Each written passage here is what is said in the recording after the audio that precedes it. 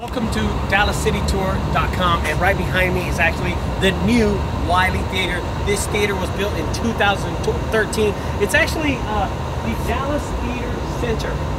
Now if you follow me around this side, right behind me is called the Margaret and Bill Winspear Opera House. This is the premier opera house located in the Dallas area. Fun fact is, both of these buildings were built in 2013.